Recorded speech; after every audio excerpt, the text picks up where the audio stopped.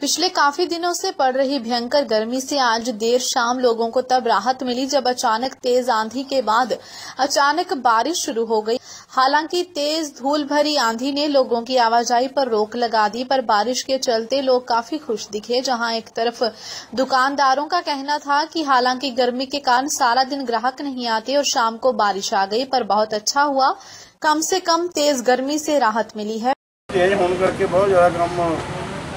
ਮਤਲਬ ਕਿ ਖਰਾਬ ਹੋਇਆ ਹੈ ਕੰਮ ਕੰਮ ਕਰਦੇ ਵੀ ਮੌਸਮ ਕੰਮ ਕਰਦੇ ਵੀ ਬਹੁਤ ਜ਼ਿਆਦਾ ਕੰਮ ਮਾੜਾ ਹਾਲ ਹੋਇਆ ਇਸ ਵੇਲੇ। ਹੁਣ ਜਿੱਦਾਂ ਮੌਸਮ ਮੀਂਹ ਪੈ ਗਿਆ ਹਨੇਰੀ ਚੱਲੀ ਬਹੁਤ ਵਧੀਆ ਮੌਸਮ ਹੋ ਗਿਆ। ਹੁਣ ਕਿਦਾਂ ਤੁਹਾਨੂੰ ਅੱਗੇ ਕਿਦਾਂ ਲੱਗਦਾ? ਹੁਣ ਕੇ ਮੌਸਮ ਬਹੁਤ ਵਧੀਆ ਹੋ ਗਿਆ ਜੀ।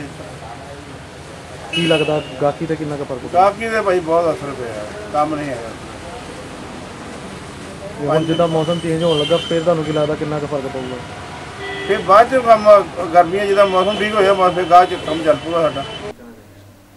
ਮੈਂ ਇਹੋ ਕਹਿਣਾ ਚਾਹੁੰਦੀ ਵੀ ਦੋ ਕੁ ਦਿਨਾਂ ਤੋਂ ਬਹੁਤ ਜ਼ਿਆਦਾ ਗਰਮੀ ਸੀ ਤੇ ਲੇਕਿਨ ਅੱਜ ਜੋ ਵੀ ਹਾਲਾਤ ਹੋਏ ਨੇ ਹਨੇਰੀ ਆਈ ਹੈ ਮੀਂਹ ਆਇਆ ਇਹਦੇ ਨਾਲ ਬਹੁਤ ਦੁਨੀਆ ਨੂੰ ਰਾਹਤ ਮਿਲੀ ਹੈ ਵੈਸੇ ਇਸੇ ਇਦਾਂ ਦਾ ਹੀ ਮੌਸਮ ਹੋਣਾ ਚਾਹੀਦਾ जलंधर से आजाद टीवी न्यूज के लिए विक्की कंबोज की रिपोर्ट